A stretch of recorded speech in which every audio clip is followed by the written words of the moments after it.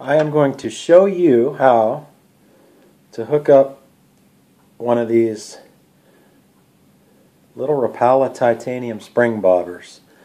Um, a little tricky, but now that I've done several, this is probably my 10th one. Everybody has these little tiny screwdrivers. You need a real tiny screwdriver, and these things aren't cheap, so you don't want to break them, but I can tell you firsthand that they're a very durable little deal. So you can see they're real tight when you get it out of the package and you just you can actually be pretty rough with them. I mean, you don't have to worry about breaking them.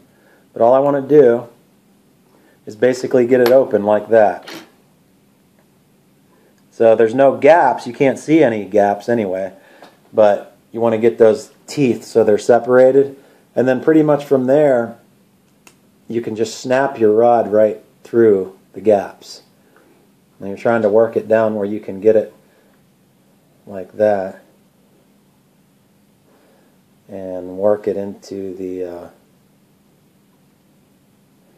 to the rubber.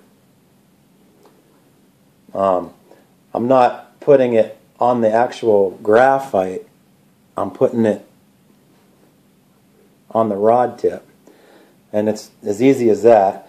And then you take and squeeze. You can hear that thing snap four times. Actually, I'll get one more out of it. And that's really snug on the end of my rod. Um, then you just take your line, go through your rod tip, and then go through the bobber tip, and there you go. Real quick and easy to put on. Um, they're real easy to get off too. You just use that same screwdriver and open it back up. Um, the one little tip I'll tell you is uh, make sure you take that bulky part and slide it sideways so it's pointing sideways. Um, and then you can see the clearance. There's a lot of clearance. Your line doesn't get tangled or anything like that. Just keep it keep it up like that. Got a good quarter inch of clearance. But the one thing I like about this particular spring bobber is one, it's durable. You're not going to break them. Um, but they stay real snug, secure. Don't move around like a lot of them do. You want to get everything lined up like that, and once you do it, it stays. And then my favorite little part is I can make it shorter,